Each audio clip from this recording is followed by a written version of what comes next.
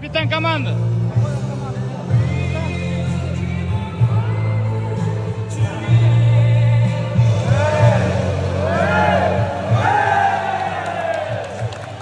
С раннего возраста занимаюсь мини-футболом, дворовой футбол играю.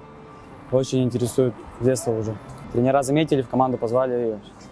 И с недавних пор играю сейчас профессионально. И неоднократный чемпион республики, чемпион Дальнего Востока.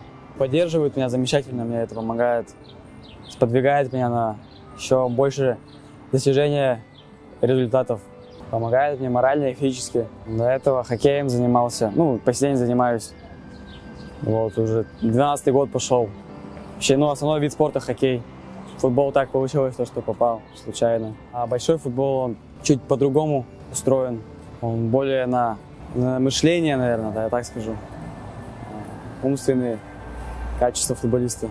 А мини-футбол более на взрывные качества, на силовые качества. Взаимопонимание. Самое главное, это понимать друг друга с полуслова. Нужно не один месяц, наверное, не один год, чтобы команда была дружная и как бы понимала друг друга с полуслова. Хотелось бы, конечно, играть профессионально.